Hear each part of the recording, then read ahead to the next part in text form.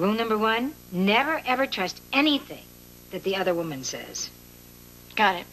And rule number two, trust your husband until you know otherwise. But how am I supposed to know otherwise? He won't even talk to me. And his lady friend says that this whole thing started because I was never around. Karen, if he was going to be Fooling around, right, right? your being there wouldn't have stopped it. You know what? You're right. And coming to Port Charles has given me so much already. I mean, you and Lee, and Scott and Serena. And even talking to Mom, that's been lots of fun. You must be giving her pointers or something. no, no, I'm not. Not a, not a one. I think she's just trying very hard not to make any of her old mistakes. I know, sometimes I wish she wouldn't try so hard. Aren't you, um, forgetting someone? Who? Joe. Oh, yeah. you know, when I saw him again. Wow. Talk about coming home. The person I used to be a long, long time ago. You know, Karen, people do change and they grow and their needs change too. And, well, your anger at Jagger and his inability to kind of be close to you, those are things that are telling us that you are changing lately. But the problem is, you're not doing it together. Do you think that's why I'm drawn to him? Because to Joe, he's available and, and Jagger's not? I don't know. Maybe, maybe it's just because he's so nice. Maybe I have been leading him on. Really, have you? Well, I didn't intend to, but, uh... Well, he, he kissed me. Oh, my. And I finally saw, you know, how much he cares about me and how impossible the situation is, so I got really self-righteous. And I said some things that really hurt his feelings. But Joe was great. Um, he understood, and he said that we could just be friends. Well, he sounds very considerate. Gail, I'm crazy about him. But I love my husband. Or the husband I used to have. I hate this. What are you going to do? I know what I'm not going to do. I am not going to keep taking advantage of Joe Scanlon. Not until I get everything worked out with Jagger. Maybe this situation calls for a little intervention. Yeah, like what? Like you, her, heart-to-heart talk, the beach, the moon. No way. You don't know until you try. Look, Frank, she loves him. She said that. No, but, I mean, isn't it obvious? Whatever this guy does is fine with her. What's that sound like to you? Masochism. True love. You can't mess with that. Yeah, you don't want to. I just hope someday somebody will love me like that. You? Forget about it. So what brings you to town, Doctor? Convention? Mom, she didn't like the way I sounded on the phone. He's here to kidnap me in case I appear malnourished. Well, there's no chance of that with a roommate who shops like Eve. Well, I am on a strict budget for one now. And Julie can obviously afford to do her own shopping. Uh, honey, you better get going if you're going to make that thrilling little baseball game of yours. Why don't you come along? I got some business I can do. Okay, I'll call you tomorrow. I wouldn't want to blow your cover. It's probably already blown. Oh, hey, don't look at me. I keep my mouth shut. You'll be okay on your own tonight. Now who's being overprotective? I'll call you tomorrow. Okay, I'll be at the Port Charles Hotel. You have fun tonight, okay? I will. Want to walk out with me? Uh, uh, no, I, I want to use the phone before I go. Thank you for coming all this way just to check up on me. Well, I love you, little girl.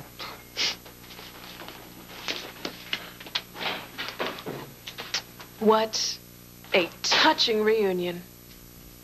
Mine and Julie's, or mine and yours? Okay, Ben. How do you want to play this?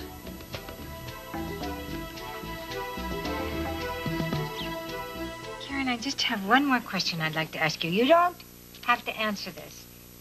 You know, just think about it for yourself. But what if Jagger was to come through that door right now and tell you that this Fran person was lying? Would you take him back? Yeah.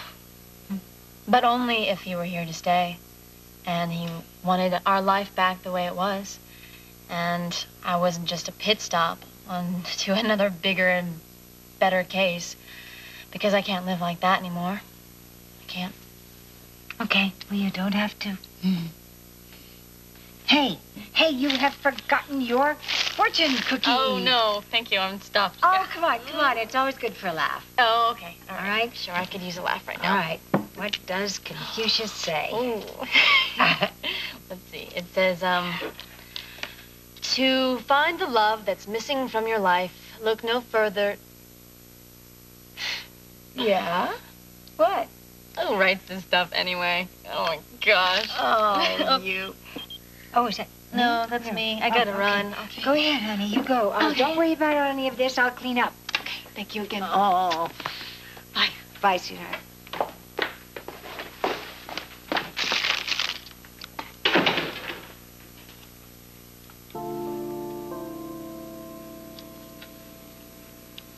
To find the love that's missing from your life, look no further than your oldest friend. Well, at least I'm still Karen's oldest friend. I'm not going to mess that up by hitting on her when she's not interested. She means too much to me. Tough guy. Let me go check my messages. I saw the kids in the parking lot. I'm so glad you're still I here. thought maybe you got sucked into that black hole of a hospital across the street. No, nothing like that. Guess what? My dad is in town. That must have been kind of a surprise to you. Yeah. When I decided to come here as Julie Morris, I thought we agreed that I'd visit my parents in Winnetka and they wouldn't come here. And what happened? My mom was worried, and my dad, well, he sort of forgot about our agreement. So, when do I meet this guy? I'll set it up. He's only in town a couple of days. He's really great. You'll see. I hope we can handle this in a civilized manner. I find melodramatics excruciatingly dull.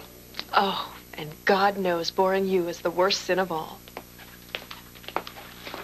Are you going to make this difficult? No. I will make this very simple for you. What do you want me to tell my roommate? What does she know? Nothing yet. Well, I don't see any reason why we shouldn't leave it that way. I bet. Seeing as she thinks that her father is this devoted husband. I didn't know that you were interning at GH. Luckily, I didn't need your permission. Eve, I can do you a lot of good. Or not. And I can blow you out of the water with your little princess anytime I want. I thought we parted friends. You did? Don't you miss me at all? Ben. What happened? The new girlfriend didn't work out either? So sorry. I don't like this new hard edge. It's very unattractive. Oh, no. It's very in your face, and that's what you don't like. On the contrary. I like that very much. Hold it, Ben. Back off. Are you sure? That's what you want. You bet. Because for the first time since you've known me, I'm holding all the cards. I'll bet on it. Why not? Your ex-mistress is living with your daughter. And there's nothing you can do about it.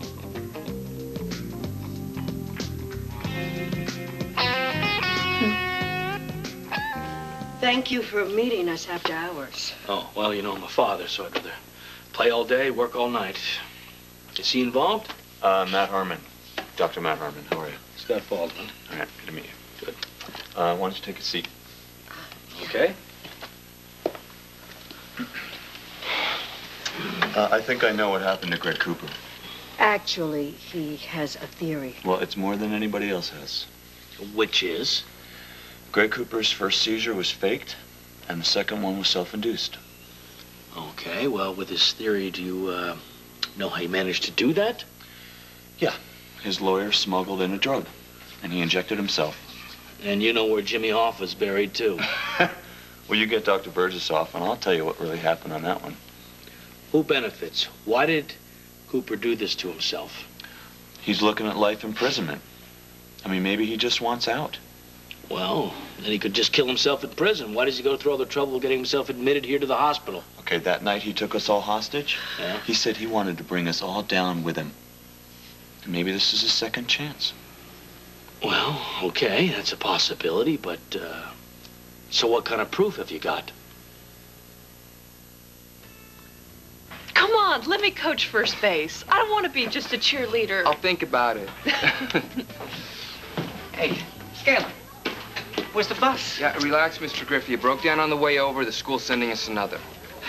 If we had just driven our cars and the kids straight to the field, none of this would have happened. I said the team would go over together, and that's what we're gonna do. They're going nuts out there. They're excited. They want to win. You want to win? Don't replace my kid with that shrimp Ernie. Mr. Griffey, I want all the kids to learn and all the kids to have fun. It's no fun to be a loser. No one is a loser who plays for me, ever. Well, I didn't raise mine to wimp out on the big game. Mr. Griffey, I'm the coach of this team. We do what I say. And I say every kid plays in every game. You'll lose. So what? You know, maybe it's you I don't like. Mr. Griffey, I want these kids to learn teamwork and fair play. And if you interfere with that, I'll be forced to beat the crap out of you. Are you threatening me? Oh, no. I haven't begun. What do you want? To remain silent? Money? I don't want your money. I paid you back for every dress, every book, every nice piece of jewelry you ever gave me. I said you didn't have to. Yeah, but you still cashed a check now, didn't you? and you know what? I'm broke. And it was worth every penny. Splendor like this must be much more gratifying than the lovely little condo I set you up in. Yes, it is. Because when I crawl into my crummy little bed at night and tuck myself in, there's no one around to make me feel like a whore. I'm sorry you felt that way. I didn't always. If I ever treated you as anything less than a lady, I apologize. I thought you enjoyed being with me. You just don't get it. You don't. Get out. Get out. No. Not yet. You're emotionally unstable and you're living with my daughter, and I find that completely unacceptable.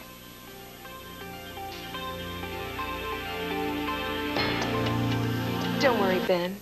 I can play nicey nice with your precious little princess.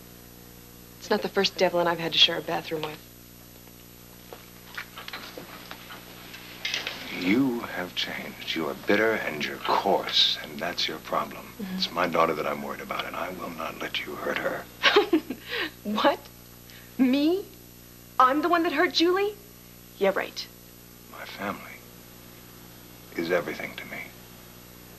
The heartbreaking story of a dedicated surgeon and his empty, loveless marriage. Oh, you're a real family man, all right. I felt so sorry for you that I went to bed with you that night.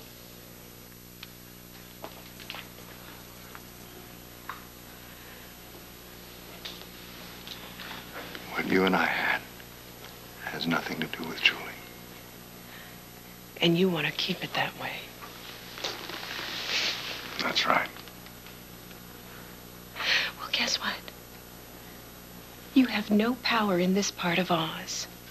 So why don't you just leave before I see what a bucket of water will do to that Rogaine-enhanced mousse? This isn't over. Don't push too hard, Papa.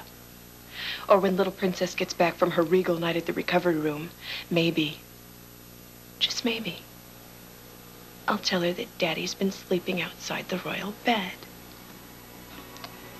You're not that cruel. Try me. I guess it was too much to hope that you'd grown up by now. Oh, too bad. Am I still in cradle robbing range?